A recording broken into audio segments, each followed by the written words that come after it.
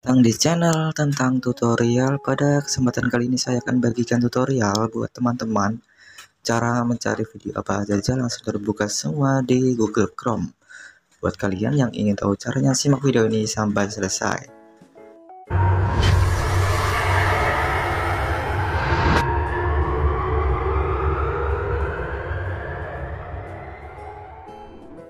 Oke pertama-tama di sini teman-teman buka aplikasi Chrome-nya setelah sudah terbuka di sini kita klik foto profil yang di kanan atas.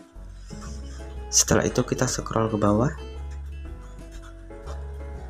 Di sini teman-teman klik aja privasi dan keamanan. Setelah itu kita scroll ke bawah. Di sini kita klik yang gunaan DNS aman.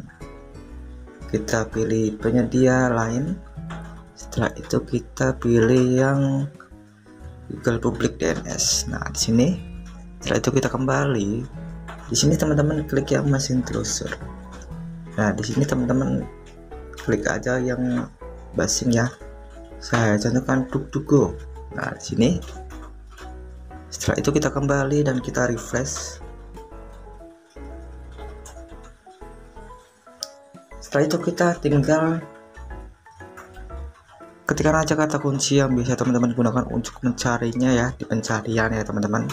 Di sini saya akan saya akan mencari video YouTube. Nah misalkan begini. Dan kita langsung cari dan akan otomatis terbuka semua. Oke itu dia caranya. Semoga bermanfaat. Salam tutorial